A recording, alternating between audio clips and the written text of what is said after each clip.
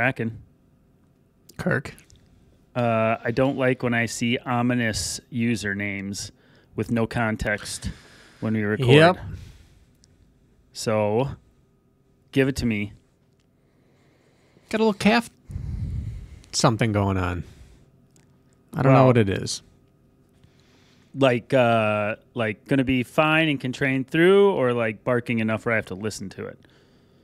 Uh, it's gonna be fine, and I'm also gonna listen to it.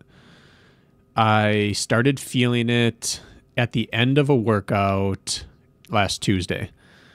Wednesday, no issues. Thursday, did a quality fan bike and row session, and by the end of the row, it was twinging on me. And but all throughout the work section, it was fine. It was like twinging when I'd stop. And then Friday, I did just an easy day, and all day long it ached. And as soon as I warmed up to use it, it went away.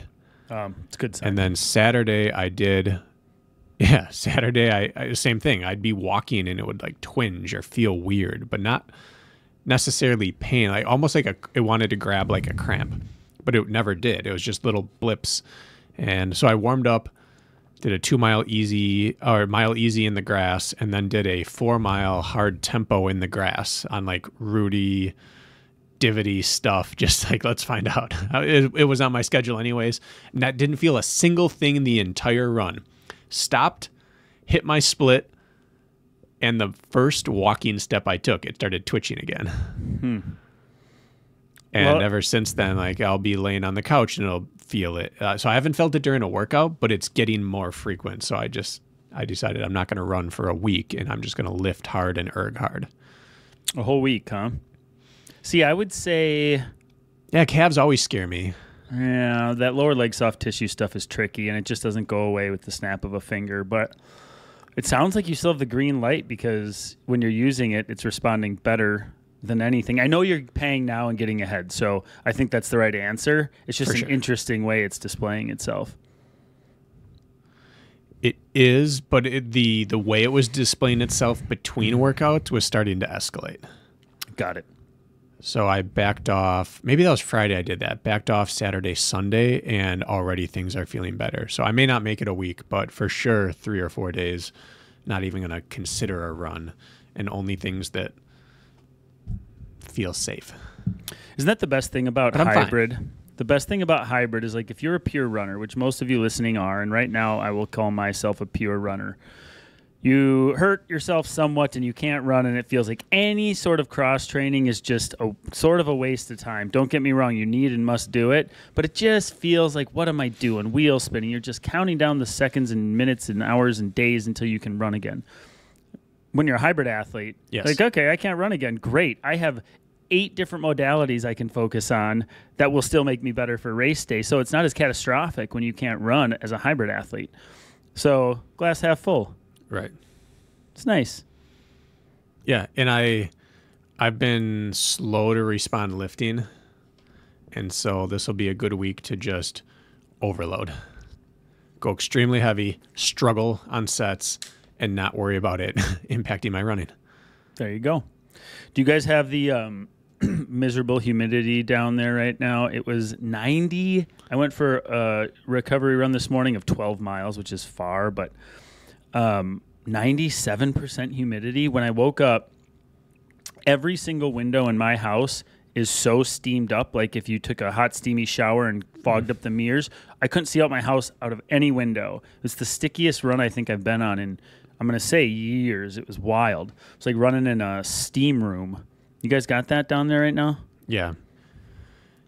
Yeah, I went to click on my I have a weather app that just stays at Uh-huh. the top of my phone and it doesn't say the weather, it just says heat advisory. Yeah, we have that too. And that damn heat advisory and that just heat muggy. rolled in just in time for Friday night. It was like it couldn't have been Oh good. it was on the precipice of being bad, but not so bad that it was obviously going to affect you until you started racing. And then I was like, oh, dang, it is so overwhelmingly sticky and hot. Uh, it's like if the race was a day earlier, 12 hours earlier, even if it was in the morning, the conditions would have been pristine. and it turned out to be not nearly as hot as previous years. The race I had on Friday, but like very very sticky. Um, it's just the cards were drawn here. Certainly August, muggier. yeah, definitely muggier. So, um, should we dissect it? What do you want to do here? Yeah, I, I mean, I already Strava stalked you. I stalked their results, and they had good splits on the website. Yeah. So I've I've gone through the race digitally, but I want to hear the breakdown. What'd you think of those beautiful positive splits, Brakken? Weren't those a thing of beauty? Well, it's never what you want, but you were consistent with everything you were doing. You were consistent at 74, and you were consistent above 74.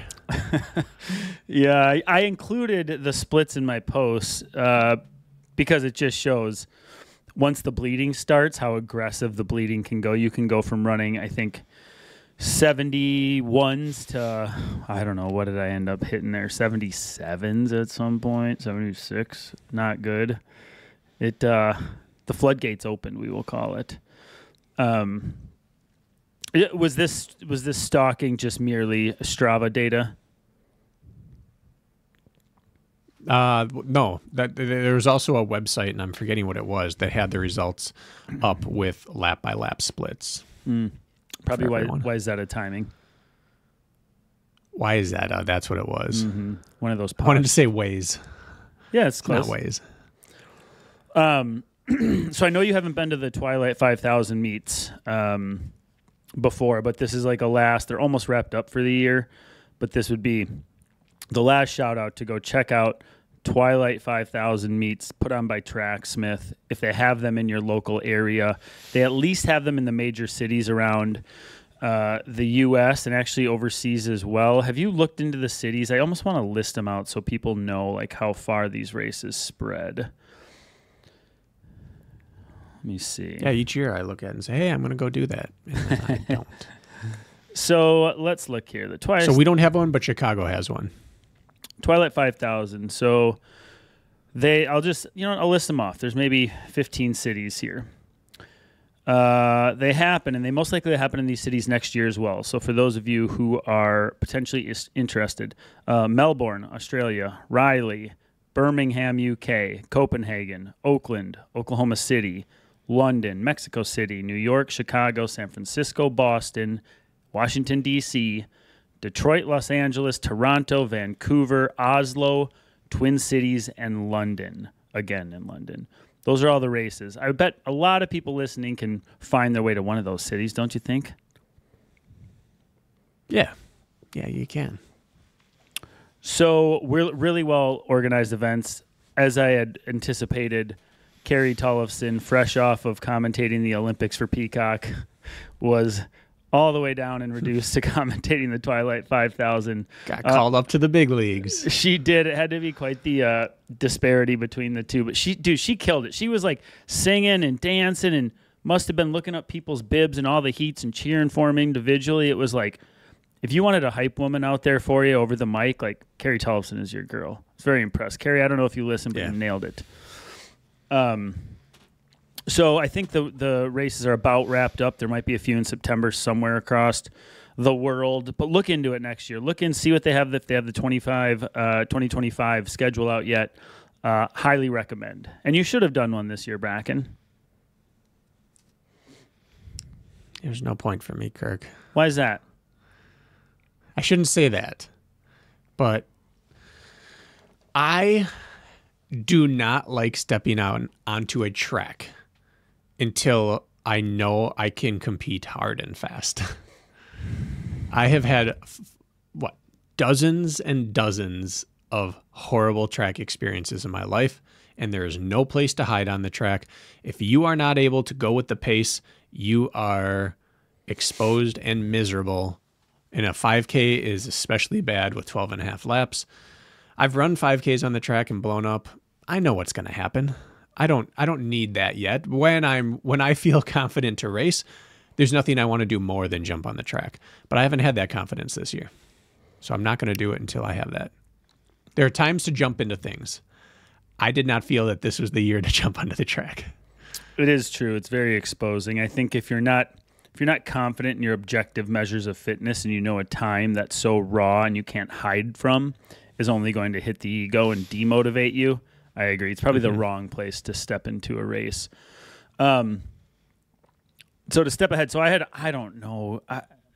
a hundred people reach out and either say "Go get them" or "Can't wait to hear the recap" or "Sorry you didn't hit your goal. Can't wait to hear about it" as a as a recap on the on the podcast. And so I feel like it's a 5K. It took 15 minutes of my life, but I think there's some really good takeaways from this. And we are going to title this episode "Stay Power is King," and that is my big takeaway from the race. Stay power is king. Stay power is all that matters. Speed is a bunch of malarkey. That's what I think. Stay power, stay power, stay power. Speed is the the flashy hot girl with no personality and there's no substance there and can't back it up.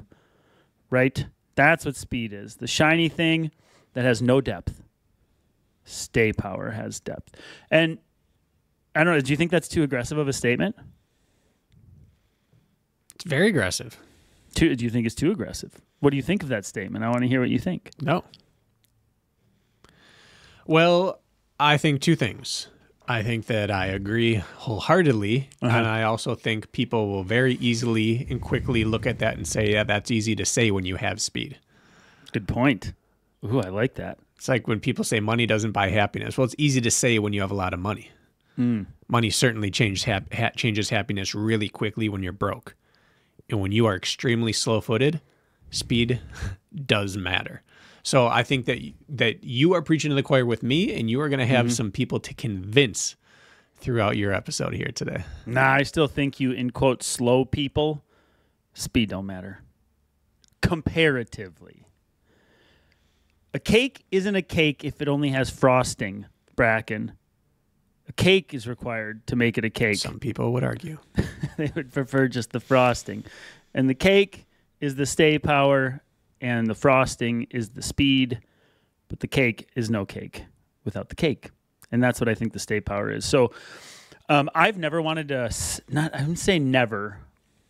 I- I wanted to step off the track or back off to like a six minute mile pace more than I've ever have in a race in recent times, which is bizarre for me. Really? Yes. I was having no fun.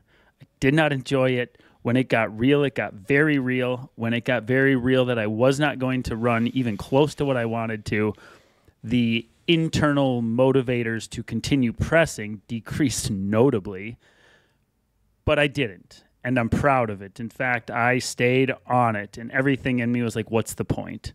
But that's not the way to lead, and it's mm-hmm. not the way to do things. So I didn't, but I wanted to.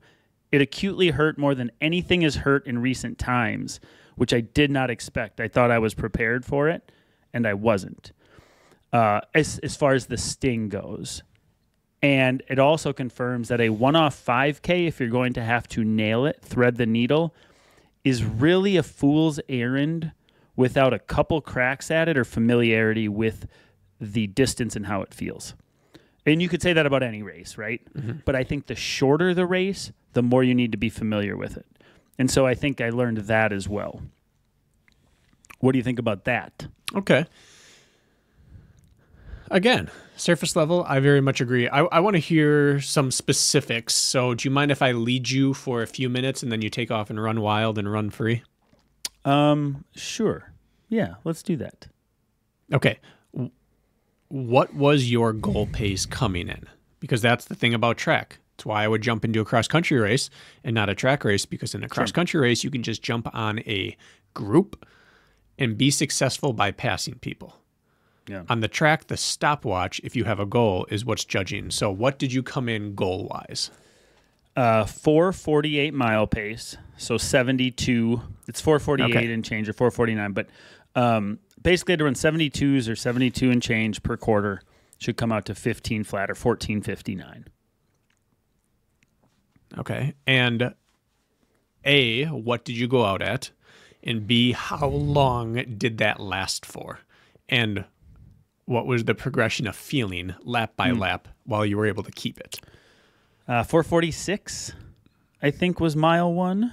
Um, yes. Okay. Felt more cost. It was like high No, just- 446. Okay. Felt more costly than I anticipated. Eh, I want to preface this with only one excuse, and I'm going to do it, and I rarely do. And then the rest are all facts. Okay. Uh, the excuse is uh, I wasn't feeling my best, and it wasn't a full blown being sick. It was a I get this sinus stuff, and it's a slow death, and I had was all congested, and stuff wasn't feeling great, and I went on meds starting Wednesday, and the race was on Friday. What I forgot about meds is what it does to jacking my heart rate up and how it makes me feel it. Like you get that bloated, awful feeling in your gut. It was augmentin. It's like a horse pill. And I just was like, I was too close to the race, and I was willing to maybe, if I didn't have a race, I would have rode it out and probably not taken meds. But I was, I could tell I was heading the wrong direction with how I was feeling every day. I was starting to get the chills, not sick, sick, just like not well. And so I got meds on Wednesday and started taking them my heart rate just started rising every day. And I should have remembered that it does that because if you don't want your heart rate to rise on you or be a little higher than normal, it's in a 5K with the heat rising, uh, you know, throughout the day and then ultimately being pretty hot when the gun went off. And so in hindsight, I should have just rolled the dice and not have done that. I shouldn't have taken meds. I should have been like, Kirk, you've trained not feeling well before. You've raced not feeling well before you don't need these meds yet. Wait till after the race and clear this thing up. And I didn't. So that was on me. But I think it actually impacted me greatly because I went in with a stomach ache. I was nauseous all day. I was trying to go to the bathroom but couldn't. So I was all bloated. That's the excuse side that I'm going to just shove aside because it doesn't matter. Fitness doesn't care. That'll preface all of this. Is that okay. fair? Um, so what Sorry. did I Get so it out there. So what did I feel? Are you saying? You're asking? Yeah, lap one, 41 or uh, 71 seconds. Lap two, 71. How mm-hmm. what what what was your feeling like compared to anticipation? Um, felt the speed felt effortless. Um, what I should have done, Tyler Morey, who uh, is a coach himself, he is North Coast Running. I don't know if you listen to this podcast, um, but he was the 15 flat pacer, and he was planned to go through 1600 meters to 3K ish, depending on how he felt. Well, my stupid butt went out faster. I said I should just hang on to him, let him do the work, and then when he drops, we'll get to business. Well, I thought I needed to bank time. I went out a little quick. I ended up leading the whole dang dang group. So I for like 6 laps, I ended up dragging the the chain of people along, running just under 15 minute pace. So he was behind me the whole time. The guy who's set mm-hmm. up to help you run 15 minutes, I was in front of. And I shouldn't have done that, but I fell in line and got into a groove. And so it felt effortless at first. It was like the legs turned over. I was holding myself back. I couldn't feel pacing. Um, but I noticed like my respiration rate was really high, even though my legs felt pretty good. So that was the initial feeling. And how many laps until you started to feel worse than you wanted to? Uh, we came through the mile. I took a quick glance down. I was at like 186 or something heart rate on my watch already. And I could tell coming into it, I could just feel the legs filling up a little bit. So I would mm-hmm. say there's this like awesome line of people on the home stretch. They're basically only give you two lanes. They're on the infield, they're on lane three and out, and there's hundreds of people. You're running through this tunnel, and people are just screaming and cheering, and the music, it's so intense and loud. And you run through that, and you get this resurgence every lap. It's amazing. And it usually mm-hmm. only happens for like the last heat or two. I really encourage you to experience it. You you need to do this. It's actually one of the cooler experiences I've ever had.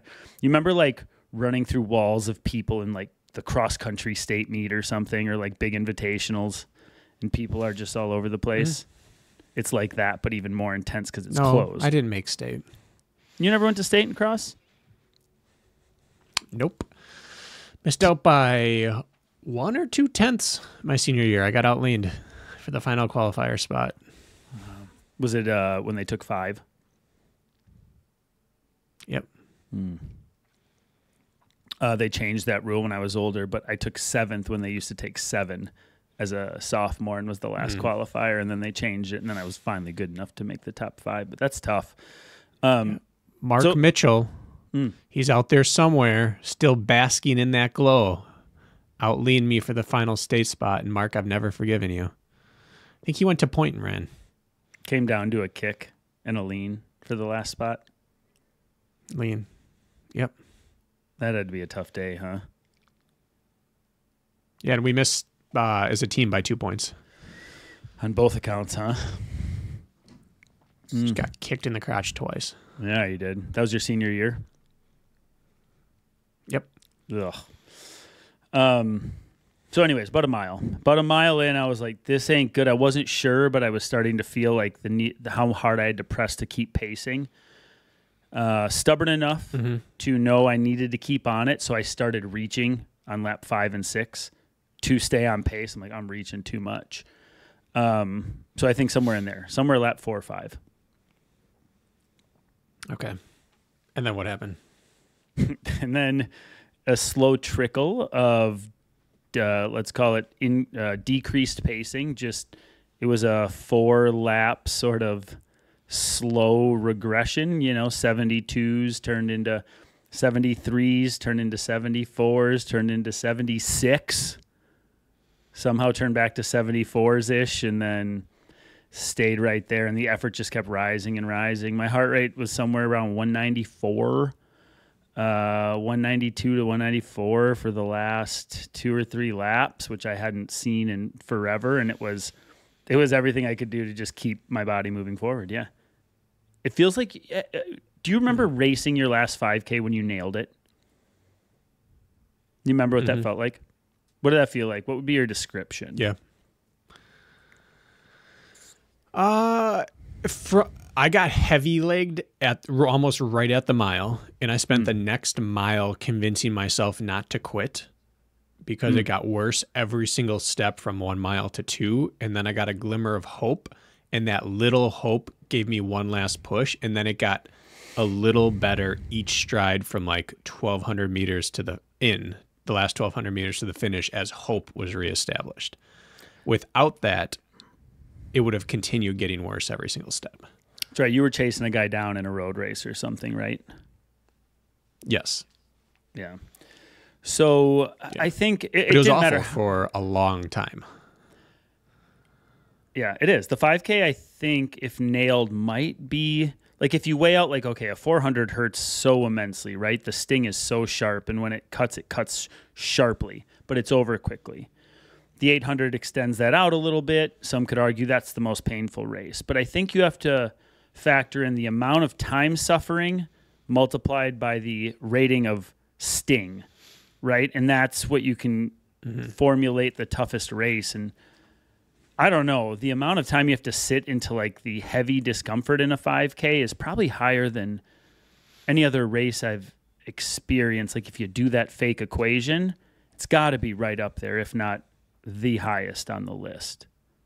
At least that's my recency bias. For me, the two most uncomfortable from both intersecting points, intensity and duration, that I've ever run in my life were the 3K steeple and the 5K. The mile is brutal, but you really have to survive one half of one lap. Mm-hmm. Maybe three quarters of one lap bad, and then the kicking starts. The 800, by the time it hurts, you're kicking. The 10K, there's more of a pace to it, but the 3K and the 5K, to me, were the two most brutal events. Yeah, my coach from college is on Strava. I would actually really like to get him on the podcast, uh, John Zupont. Uh, he's just the best. Uh, anyways, what was his comment? I'm looking at it. uh, he says, and he's got to be in his 80s now. He's still chasing things. I just really respect the man. And so we comment on each other's runs on Strava now, which is just amazing. He was my coach half a lifetime ago, and we still stay in touch. And he's so encouraging. Uh, the 5K is a long, sustained hurt. It's like the 3K, except you have to hurt for another 2K! Exclamation point! It is a tough race to get right. That was his uh, response to my Strava. Uh, cannot agree more. Um, and so with that, um, so I led this group of guys chasing 15 minutes for six laps, right? And mm-hmm. they clearly had managed their effort better than I had. I, I was in fifth or sixth place in this pretty stacked field, leading a train. Spoiler alert, I ended up 10th or 11th. So you can see how this went. I wasn't chasing, I was being hunted and passed pathetically. And so, right when my pace started to slow, one went by. And you know what I did at lap six? I surged and said, F you, and I passed him back. And that was a bad decision. that was a bad decision. And then the next lap, he goes by me again like I'm a tool bag. And then the next guy slowly but surely goes by me. And the next one catches me on the next lap. And then to put the dagger in it, I get out kicked 10 meters before the finish line in the tunnel of people, flailing home.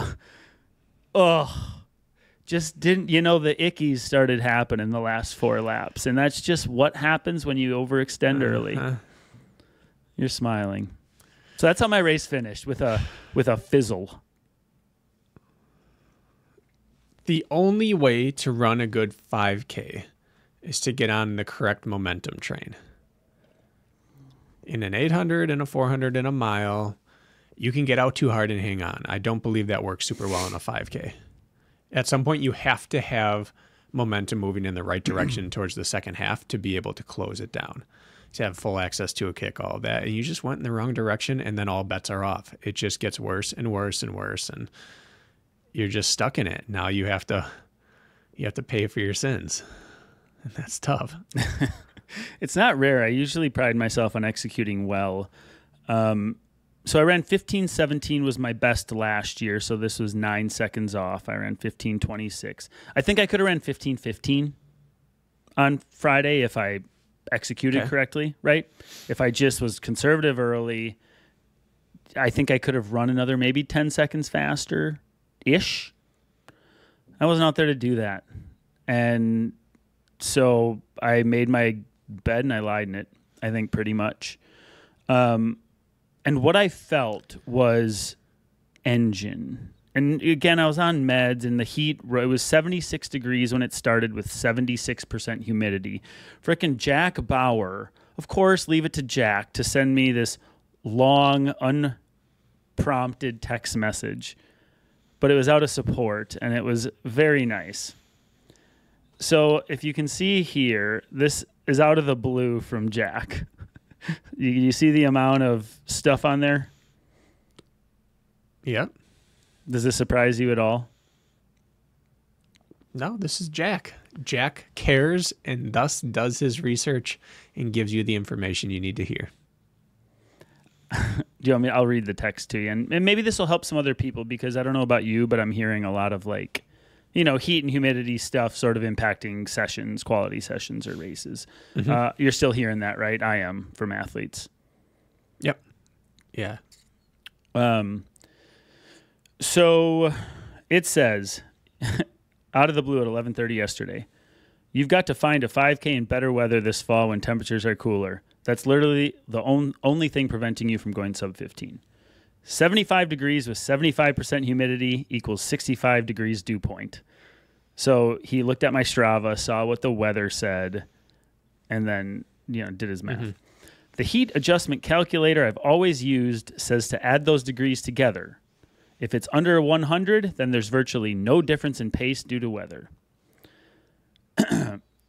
However, you get a couple percent slower when it's hot and humid, obviously. He sends me a link to this calculator. Your total on that day is 140. So that is a big impact. Being 100 is the 100 or below and no effect on your performance.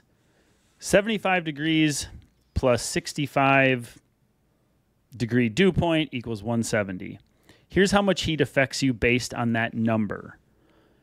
If the number is 135, 2.5% slower. If it's 140, 3% slower. And if it's 145, 3.5% slower. So then he does the math for me. He says, Your 1526 at 135 would have been a 1503. Your 1526 at a 140, which is what my race day conditions were, 1458.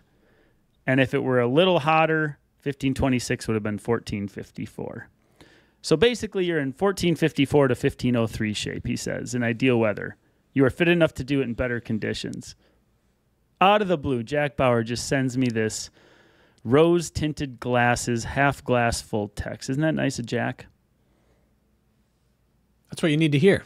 Do you buy into that? Because you need someone to talk you off a ledge after the finish line like that. Do you buy into it? To an extent, yeah. Yeah, it's one of those things where if it's if you buy it 100%, you're just locked into I can do this right now. Even if you think, well, let's say 50% of that's accurate. Well, I'm still running 1510 that day, 1512 going backwards without motivation. If I'm in 1510 to 1512 performance shape right there, but now I have my teeth in it with a mile to go, suddenly I'm 15-0 again. And now I'm one race away from tidying some things up in sub 15. So w- whether you believe it fully or partially, it's enough to reframe what that effort meant and keep you dialed. well, thank you, Jack, for that. Um, and I, I, I just don't know. I don't know because last year it was 90 degrees and 89 degrees for these races. And this year it was 76. Perspectively, I was like, no big deal. Are you kidding me? This is so butter compared to last year, right? So I thought it was going to be a gimme, and it wasn't. And so, um, I don't know. And then I asked him, you know, I said I sent him one back, and he said, I set my 800 meter PR two flat point oh three, so three one hundredths of a second off. He said, I set my 800 meter PR 200.03 in 90 degree weather with really high humidity. And it's always bothered me that I could have had a 159 as a PR if the weather was better. You're basically in the same position with waiting for that 14 whatever in the 5K. So it's a personal vendetta for him to make me feel better about this because I think Jack needs to feel a little better about his 200.03. Just tell him that it doesn't affect uh, short races. After he sends me that nice message, just slap him in the face. Yeah. Aren't you recording Race Brain yeah. later today? You can do that yourself. Right after this, actually. Yeah. So just to piggyback well, that, and then I'll, I'll go ahead. You go ahead. I've done enough talking already.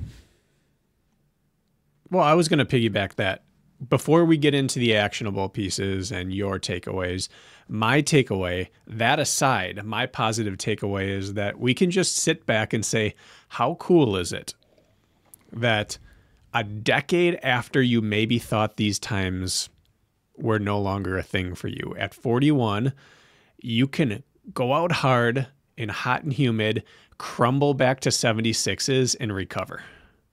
Like you can crumble back to 504 pace and then get back down to 456 pace after a couple laps at that. The 506 pace is now a place where I was hating life and I need to shelter myself here running 76 seconds per lap. Yes, mm. it's still hard, but you faded to 504 pace.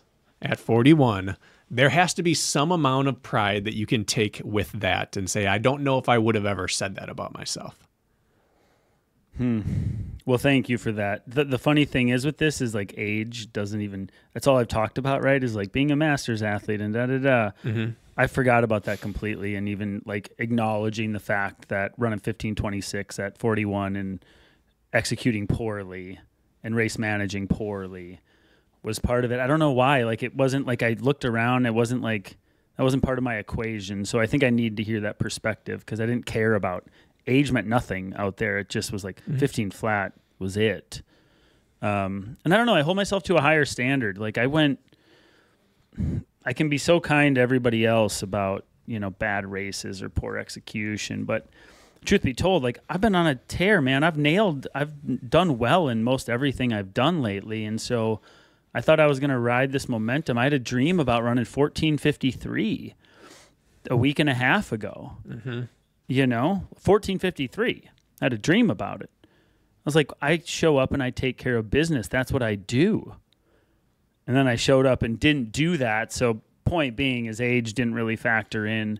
Um, it just I was so focused on the mission, the mission at hand. But um, what are you looking up there? Well, I have one more question before you take over.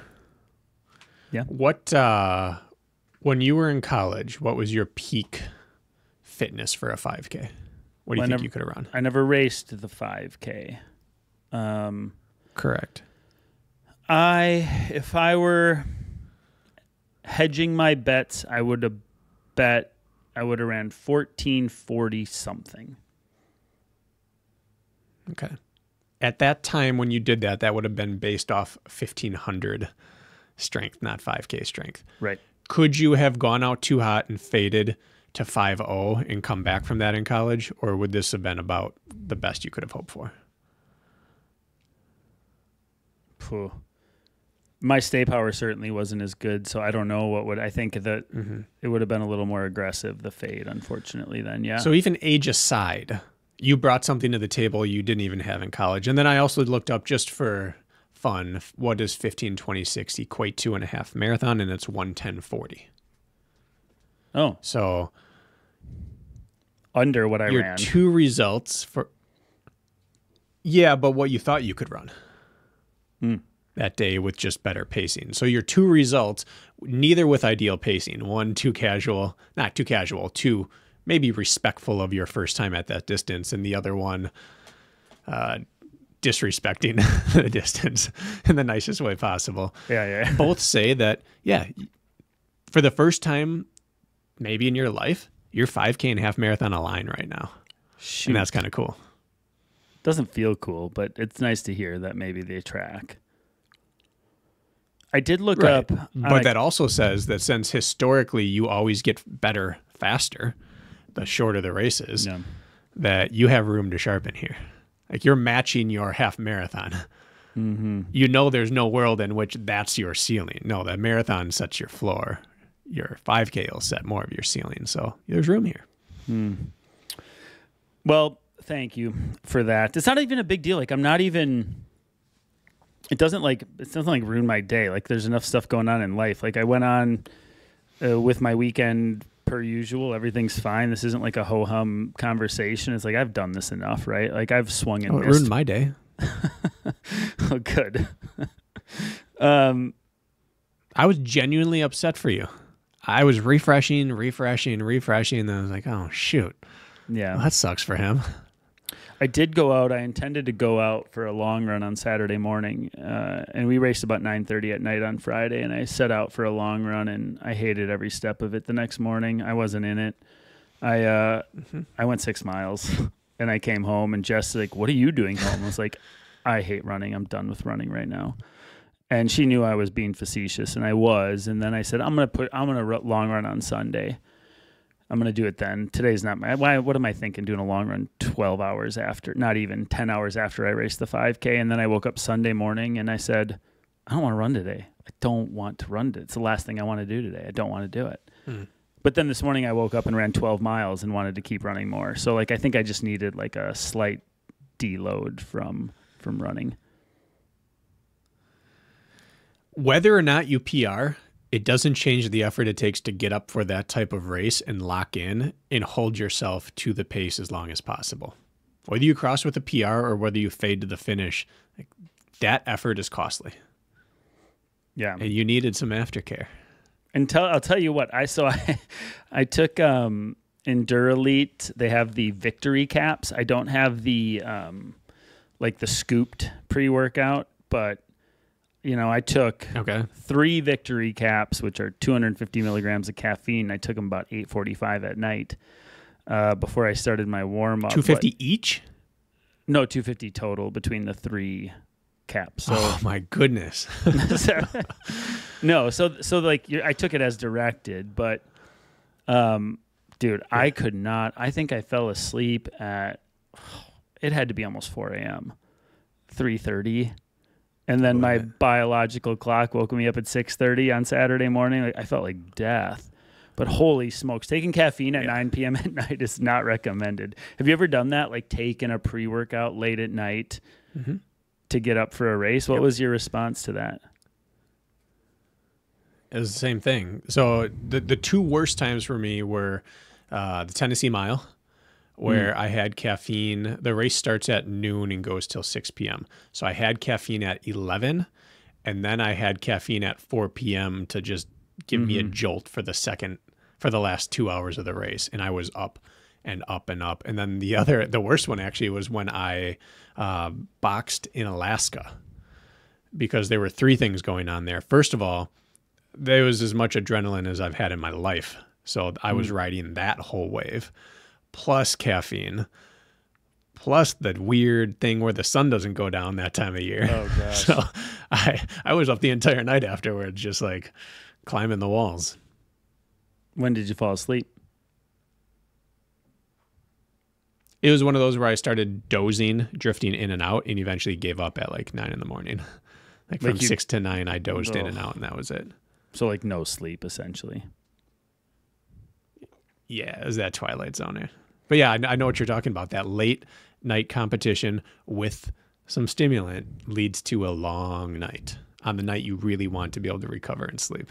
Yeah, I got up and like ate macaroni and cheese at like 1.30 in the morning and like all by myself. Like Jess is in bed. I feel like a huge loser. I didn't hit my goal time. It's like the whole world's asleep and I'm eating macaroni and cheese uh, alone mm-hmm. in a dark kitchen. Like what is wrong with me? Then you go lay in bed and your heart's just like do do do do do just still racing. Like Going. what what is Yeah. wrong with me? Oh, the joys! Why can't they have this race Tennessee, at like? Yeah,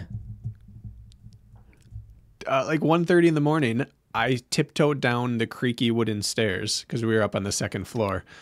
And my legs are locked up so bad I can't be gentle on my, my legs. I'm stiff legged and I'm going down the stairs to eat leftover pizza 1.30 in the morning. Heart rate's at like 130 going down the stairs. It's the exact same thing. It's foolishness. yeah, but you do that at nine in the morning, non-race days, when right before we record this podcast.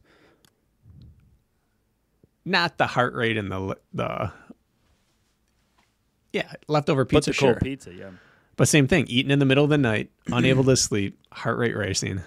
stupid. Just staring at my positive splits on my phone on the times. Be like, look at that! Like eating mac and cheese, looking at positive splits. The only person awake in the whole world. It felt like, Self-flagellating. oh gosh. Now we can laugh All right, about it. so let's pivot. Yeah. The episode is Stay Power is King. Hop up on a little soapbox here and preach at us. Okay. Um, if I did anything wrong, and I'm trying to shove aside the fact that I I didn't feel great like the last ten days leading in in the med, so let's just leave it out of the equation. Okay.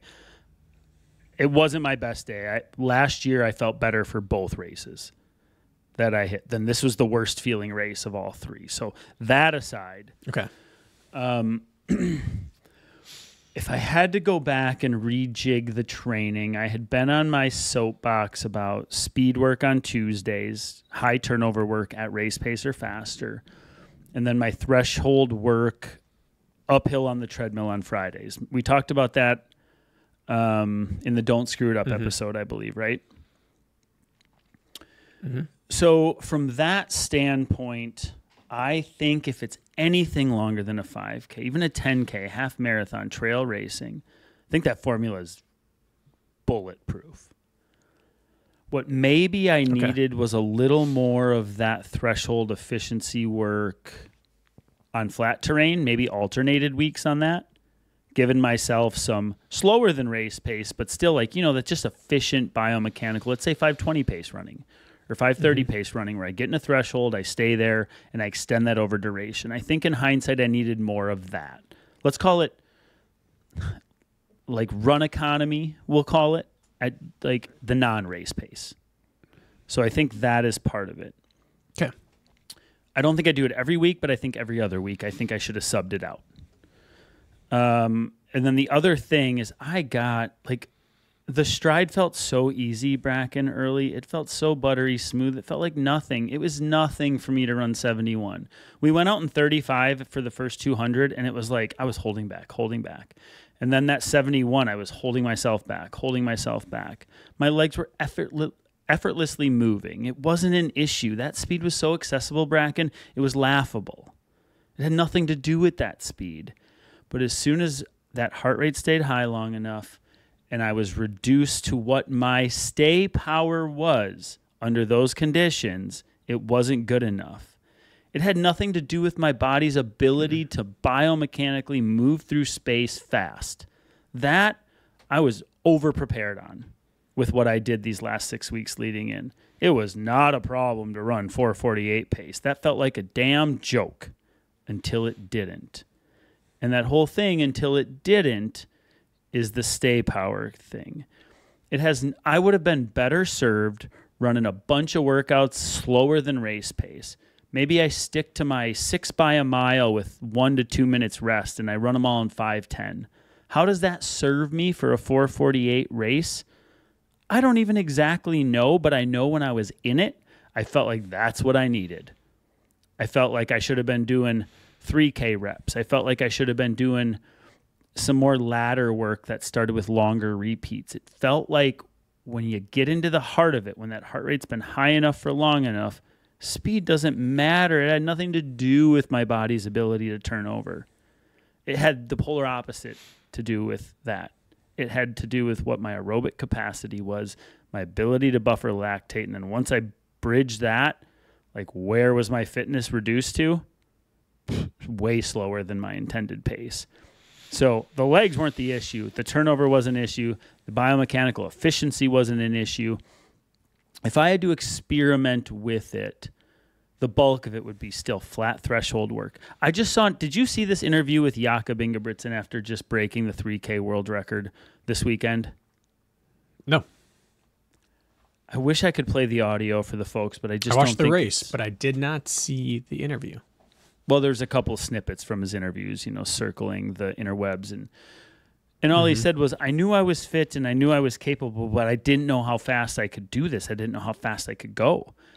He's like, "I I don't all out train or run in training. I had no idea what my ceiling was. Like I save it for race day, so I didn't know where that would land me because I never run all out in training." The guy runs probably slower most of his workouts are slower than the average pace he ran for that 3K, which is like 58 second per lap pace, which makes me sick. Mm-hmm. What he does is efficiency work that might be short in duration, but like when it comes to his thousand meter reps, he's running way slower than that. He's even running quarters way slower than that, even in the bulk of his training season. But he's just constantly just threshold, threshold, threshold, threshold. Then he gets efficient by what ripping some 200s as an end cap to a to a workout, but those don't really hurt. They just help with the efficiency. And so what I'm getting at is I think the staple potentially if I were to experiment would be like even those track Tuesdays where I was ripping damn it, maybe they should be threshold sessions. Just finish with a little bit of an end cap of efficiency work. Or a midweek long run on a Thursday where I end with four by 400 meters at race pace and seeing how that plays itself out because I believe stay power is king. I think the best in the sport understand that. And I think I'm like somewhere in the abyss between like being older and needing efficiency work or feeling like, hey, I'm getting older, don't lose your fast twitch, which is what I focused on. But I'm not sure still, even at 41, that's the right formula. And so, do you get how I'm like trying to read potentially Yes. like look at this and rejig the system? What do you make of that? Yeah. Well, first of all, you're you are correct. You are right on this. But In what regard? my my gut reaction in that yes, you you need staying power more than you need efficiency once you have efficiency. And I think that's the, the mm-hmm. key piece here is that you came off a half marathon and you had to get ready for the demands of a 5K. And so you had to go in because you can't maintain something that isn't established. So from that, I'm not saying you part in particular, but kind of. Sure. Like you can't minimum effective dose speed work and get better at it. Right. You had to do the type of training you did to get to the point where 71s felt like you were holding back. But now you have that. And for the next block, I believe that you absolutely have earned the right to dose that type of overspeed work. Hold on to what you've had and put now the vast majority of your training into race pace or slightly slower.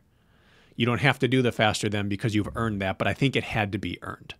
Hmm. So you were You, I mean, th- this is the conversation of someone who didn't have enough time to do both. You did a half marathon, now you had a 5K. It probably wasn't going to pair up perfectly, but now the next one can. Now you have time because you've freed up time in your schedule by getting ahead of the efficiency curve. So I agree with you wholeheartedly, but I don't think you wasted your time with this one. I think you sacrificed this race for the next one in hindsight. It's a good take. Look at you with your wisdom. Sometimes you're sometimes you're too close to it. Like I think as an athlete, um, you know, you hear like race recaps from athletes you coach or workout recaps or you have conversations about how things are going and sometimes like people are just too close to it to really see the big picture. And that's something I would have never thought about probably just cuz you're so you're too close to the flame to s- see the whole fire, right? Like it's just like Always. Mm-hmm.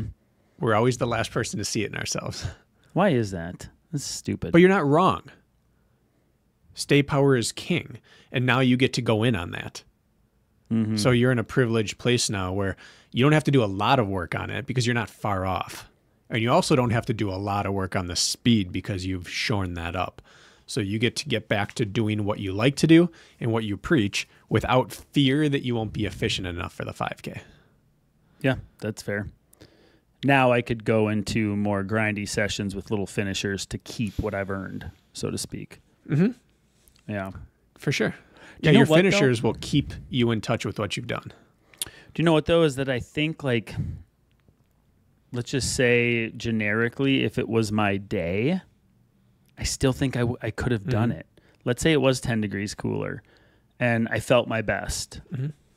All excuses aside, I think I still don't think it's a fool's errand, and that's what's irking me. Is I think like I think that was the worst result I could have put out, and I don't mean to poo poo like a fifteen twenty six. I feel like I like really messed it up, kind of in a sense, with given the circumstances. And so that's I think that's what gnaws at me more than anything is I just didn't go out and nail it, and I'm not used to that. So you got to right Yeah. your wrongs, I guess. Well, you're also playing in the margins. Like your your story has been written appropriately. You're playing in the margins now. You're you're you're mm-hmm. fiddling with things, and so it's not a after a race. It's black or white, but it's not. It's very gray, and you're in the gray. You hmm. could do it again in two weeks and maybe do it, but you up your chances by shoring up your staying power. You've already taken care of the efficiency piece, where it's not like you you didn't miss by a half minute of real time. You know, you didn't miss by 26 seconds of real time. You missed by 13 seconds of real time and 13 seconds of bleeding out done with your nose in the fight. Those are Yeah. very two two very different results. If someone nails their race and misses by 26 seconds, it was an inappropriate goal for their current fitness. Sure. If you make it a mile and a half and you start to fade, well, everything that happens once you bleed doesn't matter anymore. You know that you hmm. were six laps away from getting it. And maybe temperature changes four of those. And being in the fight is the last two. So you're in the margins. Hmm. On the very outside of the margins, but but in the margins, I I would do agree with you there. Right. And that's where the subtle change in how you are going to work your staying power takes you closer to the main to the main goal. I don't know where I'm going to rip again. That's sort of the issue. Is I start to. This was sort of ceremoniously the the last swing at something, and then I'm going to be basically buried, you know, miles deep in the woods in the fall. And I I have other passions that I love, right? And so it's do I want to keep pushing and find something? But if I do it, I want it to be USATF certified, ideally a track. It could be a road race only if it's certified, but I don't know. And then Jack sent me um, the Valentine's invite in February, where like like I don't know how many forty some collegians or seventy some collegians broke four in the mile, and you can enter unattached, and they have mm-hmm. waves all weekend. He's like, just dude, wait till February, go run it indoors in good conditions, and it'll be done. So I'm like, do I do that? Do I really chase that pursuit that hard? Do I suck it up and find balance this fall instead of being in the woods all the time and like getting another race under my belt. So I can't really decide. Like I don't have the next opportunity, is what I'm saying on my schedule. Yeah. Well, I'm going to give. Last year at this point, we gave several different options for your off season. Mm-hmm. go towards the marathon, go to, go towards hybrid, retool and go towards spring. And I'm going to echo one of the things I said last one year ago, probably to the day. Okay. And that is if you want to set this up for your best chance of doing this, you go find your balance this fall, run your volume, do your fun uphill workouts, have purpose to your threshold work all winter, run two indoor meets, and then find your perfect outdoor meet and go after it early spring. Hmm. That's that's the way it's set up for success. You're gonna have a lot of people, a lot of meets. Whereas right now, if you miss in this one, like there isn't a second chance, and maybe there's one. If you run 15, 20 indoors, you're like, okay, I can run 15, 10 next week. And two weeks later, there's another meet. And three weeks later, there's another meet. Right. There are so many options that it takes pressure off of any one single chance. So I still think that's the best option is to follow the actual track season if you want to crack at it and another crack and another crack and hmm. you find the day and the temperature and the pacing but does that fit with your timetable i don't know It does. That fits very well with my timetable. Go go maintain fitness and and pursue other passions and hobbies, which I have outside of this, and then circle back and get it done when I can put my full focus on it. Yeah, that makes a lot of sense. and do it in a way where temperature and opportunities align Yeah. again when you're in the margins you want as many controllables controlled as mm-hmm. possible Yeah. This is twice in a row now, three times technically in a row. You've just slammed your head into the same door. I mean, it wasn't as it wasn't nearly as bad this year, but it was still once you got two laps into the race, it was overwhelmingly hot again. It was just very interesting.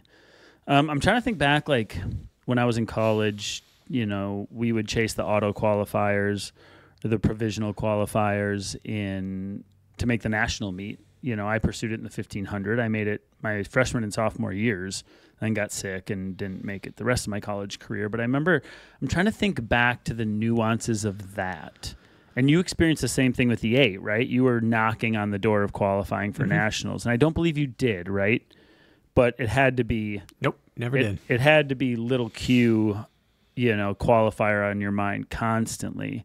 Do you remember playing that song and dance with? I mean, the eight is very different than the five K, but breaking it down is no different in the sense is where do I go out for my first 200? How do I follow up the back half of the first lap? Where do I finish? Do you remember playing this song and dance? Did you experiment with it at all? Do you remember how it panned out? Yeah, I ran my final three races of my college career were in six days, maybe five days. Oh. I ran three 800s in roughly five days, and I Were you PR'd running- three straight times in three totally different races. Were you running night races under the, like pretty much like all in the middle end of May? yeah, North Central yeah. There College was, was, one probably I ran at like three in the afternoon. Two days later, it was 8 p.m. Two days later, it was 9 p.m. at North Central. It was like Mm-hmm. La Crosse, whitewater, North Central. And I PR'd three times in three different races, but the, and I didn't make it. But the one I got closest to making was the same one, the same race style that everyone qualified up at La Crosse in the 1500 and that people qualified at North Central in the 5K. It was the right race style. And it was people didn't have to worry about what's my first 200, my next four, when do I go. They just all of the pack got clicked into the same goal in the right conditions. It was just hmm. a cool, crisp night. And there was a line of people all working for the same goal and they just rolled together. And with a lap to go, everyone was pumped up because they all knew like if we just close, we make it. And that's how the 800 was. And I mm-hmm. I made a tactical error in mine, but the the heat ahead of me had like four last minute qualifiers out of it, and it was just when you're the one making the pace decisions. If you're not world class talent and mental setup, it's really hard to to nail it when you're close to it being possible or not. But when you had like 10 people sharing that, that's the one. And that's why I think track season is so important to hit it in because you get to control the weather and you get to be in a race without such a big spread of ability. You're not going to get 1340 through through 1540 in one race. You're going to get 1501 through 1511. You're going to have 20 people in that range. And then you're not making decisions. you're just running in a group where everyone's the same. Mm-hmm. Those were exciting days. I took one of my last swings at uh, 1500 outdoors my sophomore year. Um, and died trying there too now that I think about it. I'd run like 354 outdoors, but it took about 352 to get in that year. And we were running 350 pace. And I think my last 200 I ran in like 35 seconds. Start doing that math. Yeah, I remember fading in that one too. But that's where you're at Yeah. at that point in the season. Like it's the same thing as chasing goals. Like you listening, like I want to break 20 in the 5K. I had an athlete there, Peter, who was chasing 20 minutes in the 5K at the same race I was at, and he went out and ran his heart out and ran 2025 because he faded home, and that is what it is when you're chasing a specific goal or a qualifying standard in college. Mm-hmm. You kind of die trying. Like you don't you can't, don't have options, right? And when you put a number like 15 flat, or those of you chasing times in your local road 5K, like you don't often do it negative splitting. You rarely often do it even splitting. And the guaranteed way is to roll the dice, show up, overshoot slightly early, and hope that it's one of your good days that you will always remember, in which you hang on and cross where you want to. I don't know if there's another way to do it unless you're like a Jakob Ingebrigtsen racing competition who isn't as good as you, and your only goal, only in quotes, is to win, and you can hold back and run within yourself until it's time to win. But if you're chasing metrics like mm-hmm. that, I don't know how else you approach it. And the 5K and under in particular, probably the 10K and under. I don't know. Where would you draw your limit there? Is like you need to go out on pace or faster in order to run your best. 5K? Would you extend it to 10K? I don't know. Maybe that that middle distance, and I extend 5K to middle distance. Yeah. For most people, it's it's tricky. Like my PR was 502, 503 through the mile, 508 my second one, and hmm. then 451 to close. Jeez. Those are outrageous splits. That's not ideal. That was just getting. I got on tilt the last mile and closed like crazy, but that wasn't set up for success. Mm-hmm. But likewise, going out 508 reverse, then 502, 451 wasn't a possibility. Whereas in a world class field, you might be able to go right on, right on, blast something crazy. Most people don't have the genetic makeup to be able to work that hard under that much duress. So I think the best way to PR is to not have to look at the watch. I truly believe that every ounce of mental effort needed to look at your watch and either confirm or deny how you're feeling is a negative in your bank account. That getting on a race field and racing more often than not is the PR way that everyone other than the winner gets it. The winner might be looking around checking it, but the people who get pulled along for a while and then close with a burst of adrenaline, those are the ones that have the easiest mental route because the only thought is race. Don't let them go. Yeah. But every time you I look at my watch during a race, every race I've ever run trying to run pace, it stops feeling like a race. And it feels more like an execution of a of a plan. And the logic that goes along with that flies in the face of the hurt and the emotions of racing. Yeah, you're speaking some pretty uh, firm truths. Um, a lot of videos I didn't share. I made a post last night on Instagram about falling short, but um, I had a whole slew of videos from Jess, and then friends TJ and Kelly sent videos, Okay. and my buddy Peter was there, an athlete I coach, Alyssa was there. I have all these this stuff from the race, and you know what? Jess was at the start line of the race, which is on the back side of the track where nobody is really, right? Everybody's in that home stretch, but where you start is on the opposite side of the finish line. And so Jess has videos of me pretty much every lap, and guess whose stupid butt is looking at his watch and doing math every single lap? Mm-hmm. Me. And you're probably right. Like the guys up front I was watching, they weren't even wearing watches. A lot of those guys, like some of those in the front, and the winner ran like 1420 or 1422 um, not not paying attention at all. Didn't matter. I ran by feel. I think there's something to that. Um, I don't know if I'm quite there though. It's one of the beauties of wavelight. Yeah, I don't know. It- but it's one that's the difference in in the the pace pack that I'm talking about.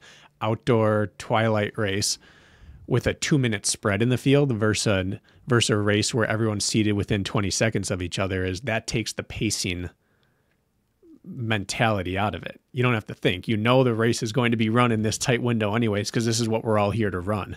Whereas last on Friday, everyone was here to run a different time. There's right. even a pacer in the group because they didn't know what the whole group was going to run. So, uh, yeah, you may not be there in a 30 person field with a two minute spread, and you might be right there in an 11 person field with a 20 second spread. Yeah. Yeah. So, um, just to bring this back full circle, and then we'll wrap this thing up, uh, is the conversation of stay power is king. Um, I'm being a little bit exaggeratory, but I, in saying stay power is all that matters. And if you have to make yeah. decisions and waffle over what workout should I do today, or how long should my long run be, or should I do 400 meter repeats or 1K repeats? I don't know. What should I do? I would challenge you listening to always choose the less sexy and the longer. Should I do three by two miles or should I do a six mile tempo? Well, six mile mm-hmm. tempo sounds boring same distance as three by two miles.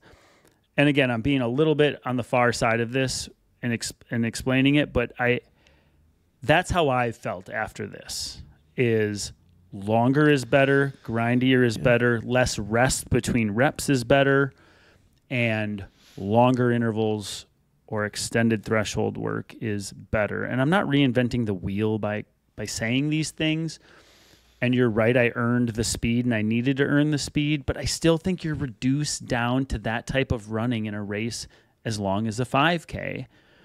And if you have to hedge your bets and you yes. have to make training decisions, I think the grindier the better, and the longer the better, and the less rest the better. Even if what you're training at isn't at your intended goal pace. If it's slower, that's okay. Listen to Jakob Ingebrigtsen.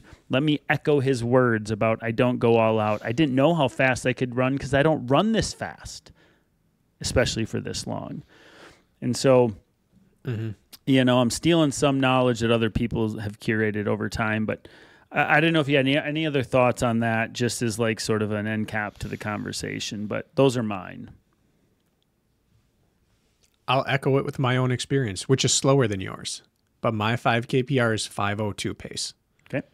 And that year I ran that on June 2nd, I want to say. And it was hot mm-hmm. and it wasn't ideal. But I had not. Now, I had done strides and hill sprints, but I hadn't run longer than 20 seconds at any pace faster than race pace that calendar year. In the five weeks leading up to it, I hadn't run a single rep, 800 meters or longer, faster than 520 pace. And I averaged 502 in the race. So it's entirely possible to run faster than your training paces by building up your systems. And that's what you're talking about. But I, I am an example of one that I did not touch 5K race pace. I did sprints faster, five to 20 seconds long. And I did a lot of 1500 meter reps that spring at 520 to 525 pace. And I did a few cross country course reps. Maybe the one thing I did is Macaulay and I ran that week. We did two mile, one mile, 800, 800 on the cross country course, and we came through, I want to say 1040 through the two mile. So 520 pace on grass. That's probably worth like 512. So that was probably the single fastest thing I ran. And that was two days prior to the race because I didn't know I was racing.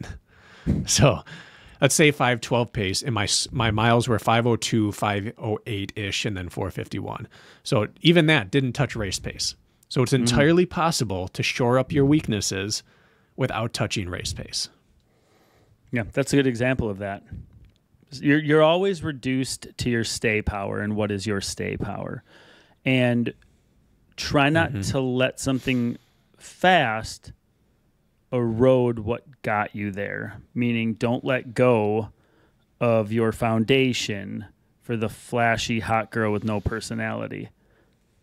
You know, it might be fun when you're at the track ripping twos, right? I felt real good about myself running 28s and 29s on the track for 200s.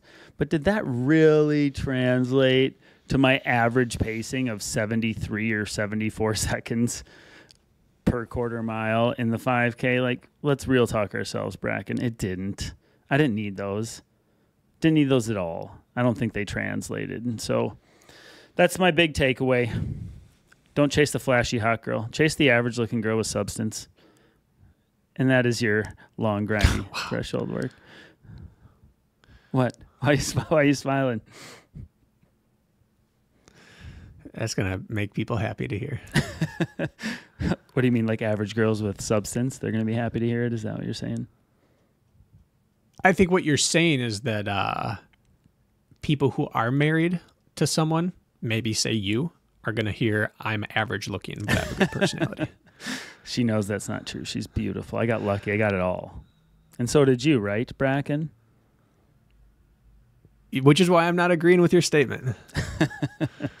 All right. Uh, put my foot in my mouth once. Um, anything else we should add to this? I really appreciate uh, it's a dumb 5K that means absolutely nothing in the grand scheme of things. And every person I work with is asking me how it went and good luck and people sending messages over a freaking 5k and i guess that's what comes with stating your goals publicly but um, the support oh feeling pretty loved over a stupid track 5k so thank you for those who you know sent messages asked me how it went all that stuff.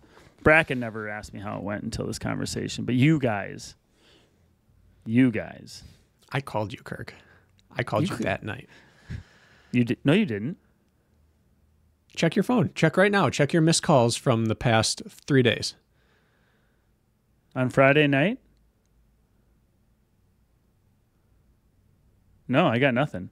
I wish you could see this. I got nothing. Check Saturday morning then. Check Saturday morning. You call so you're no, I, you're lying to me. So you called me yesterday at 7:02 p.m. And then the last Correct. time and that we was the second time I called you. And the weekend. last time we chatted on the phone, as I scroll through, was August fifteenth at twelve thirty seven p.m. So you're living you're living in delusion. No, I never got a call from you. It's okay. It's okay, Brakken. Well then, I don't know what to tell you. Did you just look at your phone records and it confirms that you didn't call me Friday night? Yeah, so I called you. It was Saturday morning. I called you on the way to the store to say, "Hey, we're having trouble with the the editing software, and I want to hear about your race." And it went straight to voicemail. I oh. swear to you. Hmm, and now I'm seeing that we don't have a connected call. It's okay. I love you anyways. All right, we're gonna end this thing. I hope that you guys listening got something out of it and can apply it to your training. Uh, and if anybody out there is racing 5Ks uh, whether it goes well, poorly, or somewhere in the middle, like reach out. Let us know how you feel your training paid off in relation to how you felt out there on course. Um, Brakken and I both feel like we have a good handle on training and stimulus and adaptation, but we're still experimenting. So I, would like to hear people's feedback on their takes on maybe some of their 5Ks and how their training did or did not come through. That's all I'll end. Anything else? Thanks for supporting my man, running public. Thank you very much. Yeah. Made up for Brakken slack. We'll catch you guys later this week.